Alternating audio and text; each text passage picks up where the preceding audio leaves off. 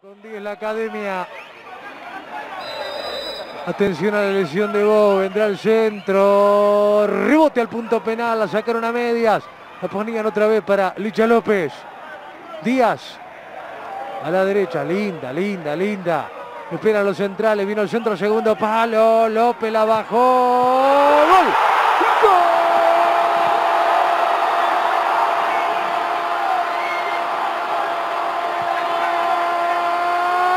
¡Golazo! Racing Insúa, le bajó Licha, le pegó de aire Manuel Insúa.